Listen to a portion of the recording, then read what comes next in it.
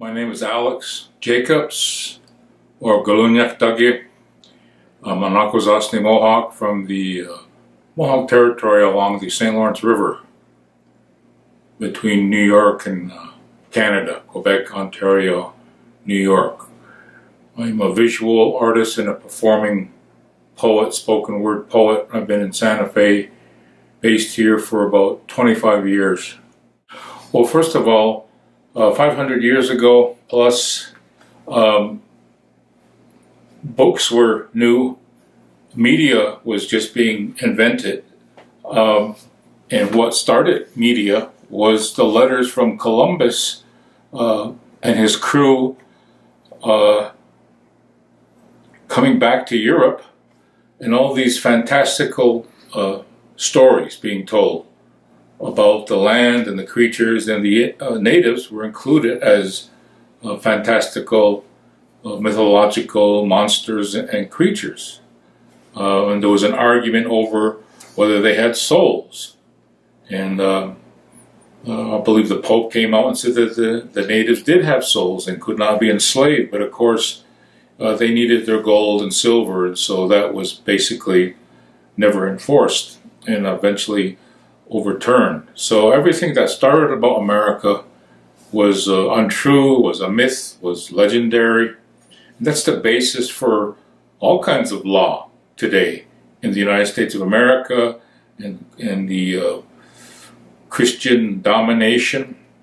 That's all based on, on lies and untruths and, and this. And it started with all this fantastical um, uh, information coming from America back to Europe Columbus's letters, and uh, they got people, artists, to make images to match these stories, and it was all just again uh, fantasy.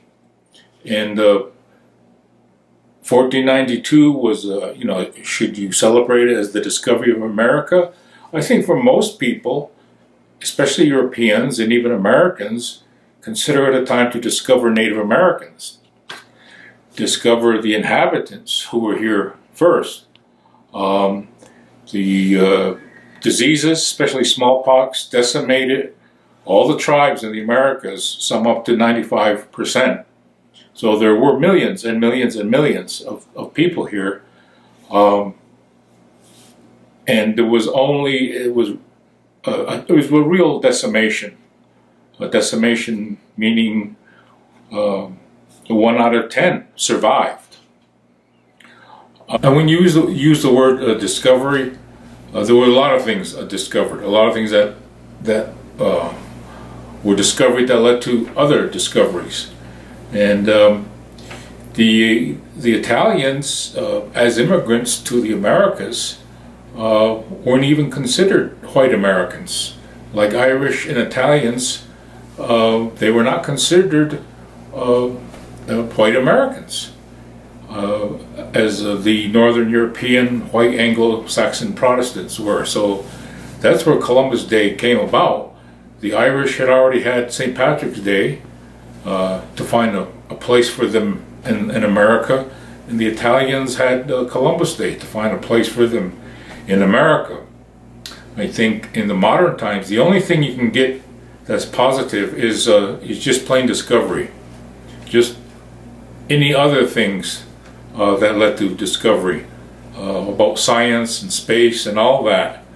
That's about the only positive thing you can you can relate to that to because what happened when Europe found out about the Americas again it turned their world upside down and so uh, in it uh, all these foods uh, came and influenced European culture you know, a lot of these things, uh, uh, people didn't know it came from Americas because it took a roundabout way to get around the world, but it ended up in Europe and Africa and Asia, but it came from the Americas.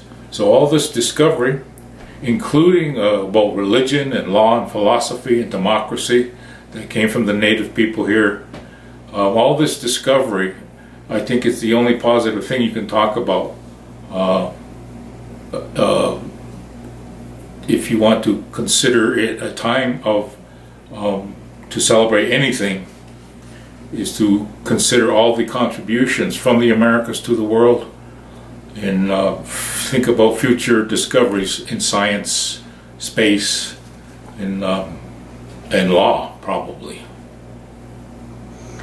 So, why do you think it's important that uh, we um, progressively want to change Christopher Columbus Day to Indigenous Peoples Day here? Well, again, people don't even know that Native people exist. You know, um, and there are there are Native inhabitants in, in, from North Pole to South Pole, and so people are just uh, now and again discovering that the natives and Indians and Indio still exist in all the Americas. We survived. We survived genocide and ethnic cleansing and cultural genocide. So we're here and we're not going away. And um, all our contributions, uh, again, are they, that's what should be discovered.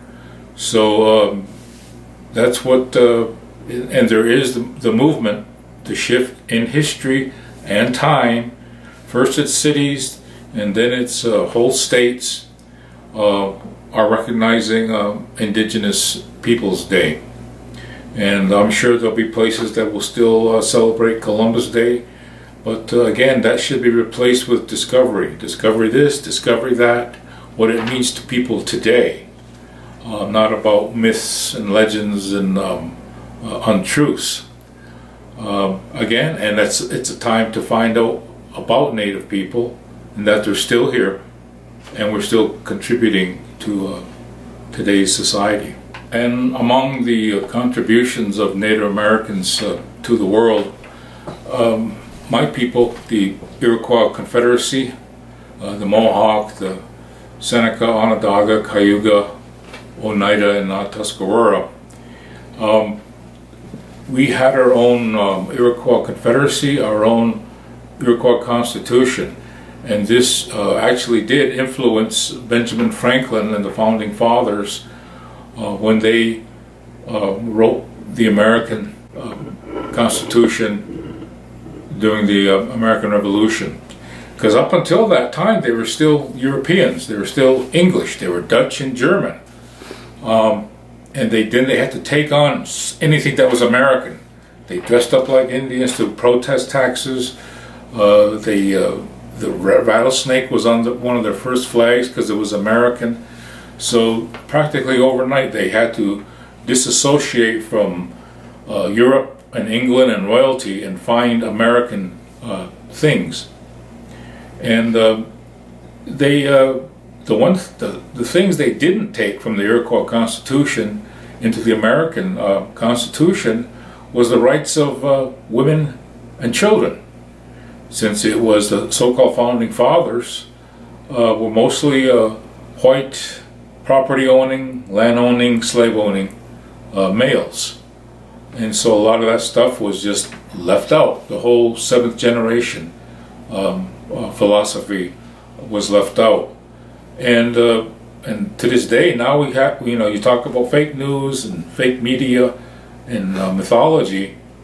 Um, now you have conservatives looking back at the founding fathers of America um, and uh, talking about what they got from Europe uh, after having trying to escape or disassociate themselves from Europe. But the democracy uh, it came from Greece and um, in Rome, and there was elements of common law in, in England and Europe, but uh, slavery and uh, hierarchies and uh, uh, royalty and peasants and feudalism all existed. Slavery existed with democracy from the beginning. It was in the Americas where the uh, uh, the philosophy of Native Americans and different societies created, I think, an American uh, democracy and freedom and individualism that is really what the basis of America is all about. That whole thing that was said 500 years ago, if America wasn't real, we would have to have made it up. Well, they did find a lot of things in America, and it was native philosophy, law, and religion is uh, was important then and it's important now.